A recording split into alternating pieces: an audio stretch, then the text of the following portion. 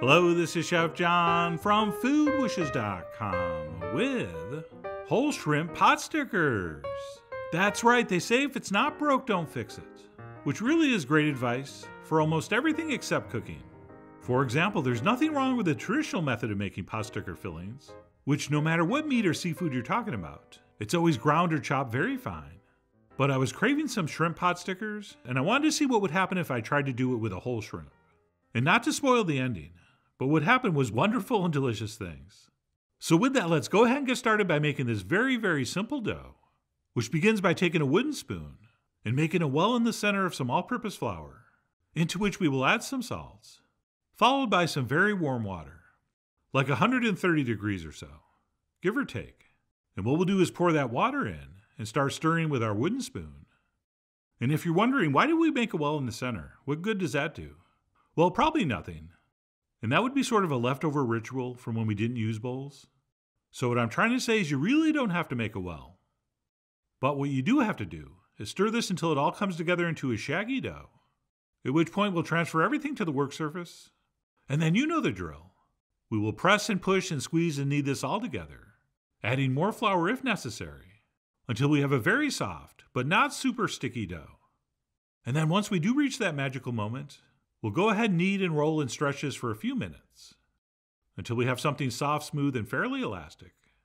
At which point we'll cover it with some plastic and let it sit out at room temp for about an hour before we try to use it, which will give our dough time to relax and for that flour to hydrate.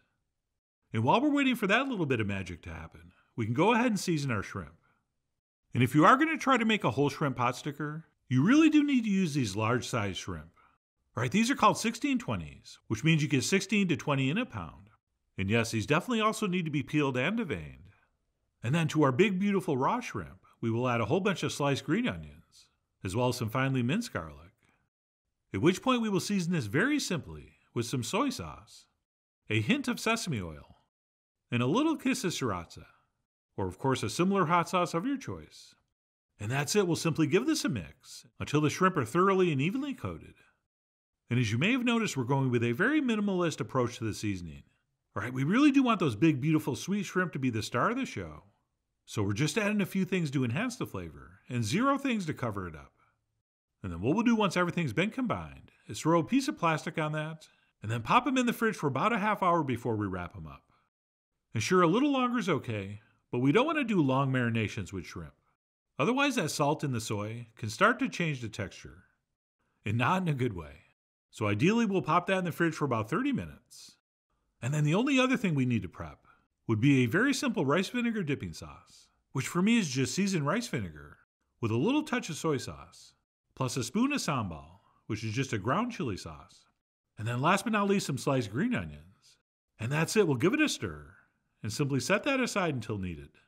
And then, assuming our dough is rested for an hour and our shrimp is marinated for about 30 minutes, we can move on to forming our pot stickers, which means we'll unwrap our now rested dough, and then we'll cut off a small piece and roll it into a ball. And by the way, at this point, the dough is still going to be pretty soft and sticky, so feel free to use as much extra flour as you need to be able to shape and roll these out, which is why we never want to add too much flour at the beginning. All right, it's always much harder trying to adjust a dough that's too dry as opposed to just adding a little more flour to one that's too wet. And then what we'll do after rolling that into a ball and pressing it out into a disc is take a rolling pin and roll this out into a circle about an eighth of an inch thick. And for the first few, we're just guessing about the size and the amount of dough. And as you continue to make these, you can dial that in. But anyway, once we have rolled our dough out into a circle, we'll dip our finger into some cold fresh water and we'll moisten the edge. At which point, we'll take a spoon and place one shrimp right down in the middle as well as applying a little bit extra of those green onions and garlic from the bowl. And when we do pot sticker fillings with ground meat, these are easy to pick up and shape in your hand because that filling is flexible. And you can actually make some decent looking pleats and folds. But with this method and using the whole shrimp, we're not able to do that. So we're basically just going to leave this on the table and just press together a seam across the top, trimming away any excess dough from the ends, which yes, you can totally use again. Just push that back into the ball of dough. And that's it once we have that extra dough trimmed off. We will make sure our edges of dough are perfectly sealed. And then if we want, we could do some kind of decorative pinching or crimping, which I'm making a half-hearted attempt to do here. And really, as long as that edge is sealed, you really don't need any kind of crimping on this side. Although I do like to do a little bit, and not just out of habit, but also because it might help grab onto a little more of our dipping sauce when we eventually serve these up. But ultimately, it really doesn't matter appearance wise, because we're going to brown and crisp up the flat side and serve that side up, so we're really not going to see this side anyway. And usually with this kind of thing, each one you do gets a little bit better. But this time, for me at least, that didn't happen. I think each one got a little worse. But did I care? Not at all. But anyway, I went ahead and rolled and folded up six. And then what we'll do once those are set is head to the stove, where I have a nonstick pan set over medium high heat, in which I drizzled just a little bit of oil. And what we'll do is place our whole shrimp pot stickers in flat side down, with those beautifully crimped edges facing up. And what we'll do is let those cook over medium high for about one minute before adding a little bit of butter. And the reason I like to add it now versus heating it up in the pan to begin with is because I don't want that butter to brown and take on that nutty kind of toasted flavor. Right, basically, I just want it to taste like butter. And no, butter is not a traditional pot sticker ingredient, but I find it pairs really well here with the shrimp. And then once our pan's been buttered, we'll let this cook for maybe 30 seconds or so, or until those flat bottoms of our pot stickers are golden brown. And the only real way to tell is to take a peek. Oh, yeah, that's looking good. And then what we'll do to finish these is transfer in a couple tablespoons of water and then quickly pop on the lid. And we will let our dumplings steam for about two minutes. All right, shrimp cook fast and steam is really, really hot. So these are not going to take a long time. But of course, depending on the size of your shrimp and how big or small you made these things, your times may vary. And that's it after a few minutes. Most of our water will have been evaporated. And if everything goes according to plan, our pot stickers should look like this. And those bottoms should be even more golden brown and beautiful. And even though I didn't make the most beautiful pleated edges in the world, after these things are steamed and that dough tightens up, they always look pretty good. But anyway, like I said, it's not going to matter because we're going to pull them off and serve these with that beautiful golden brown side up. Along with, of course, some of our super simple rice vinegar dipping sauce. And then when it comes to how to eat these, you could use a fork, but that would be a horrible mistake. Since when you went to cut them in half, all those beautiful, sweet, amazing juices would run out onto the plate and lost forever. So I highly recommend we pick these up and eat them with our hands. So that way, when we take that first bite, all those beautiful, sweet, amazing, flavorful juices squirt into our mouth instead, which is why we really do want to suck when we take that first bite. And if you're thinking, what about the second bite? You just sucked out all the juice.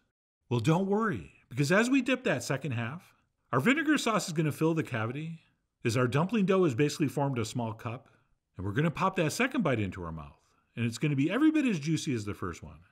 All right, so we're talking basically a simple two step procedure the old suck and bite, followed by the old dip and sip. And that, my friends, concludes today's lesson for how to eat a whole shrimp pot sticker in two perfect bites. Oh, and I said earlier that if you want to make these, you have to use these large shrimp. But I just realized you could probably put two small shrimp together, and I'm thinking everything else should still work. And yes, if you wanted to brown and crisp up both sides of these, that would be fine. But one of my favorite things about pot stickers is the contrast between that browned crispy dough and that softer, chewier steam texture, which is more pasta like. But anyway, that's up to you. I mean, you are, after all, the Marge Simpson of your pot stickers filled with shrimp, son. But like I said, having those two different textures is one of my favorite things about this. But anyway, that's it. What I'm calling whole shrimp pot stickers. I'm not sure if this is what they mean when they say the whole is greater than the sum of the parts, but when it comes to a shrimp pot sticker, I definitely think a whole shrimp is greater than the sum of a bunch of ground up parts.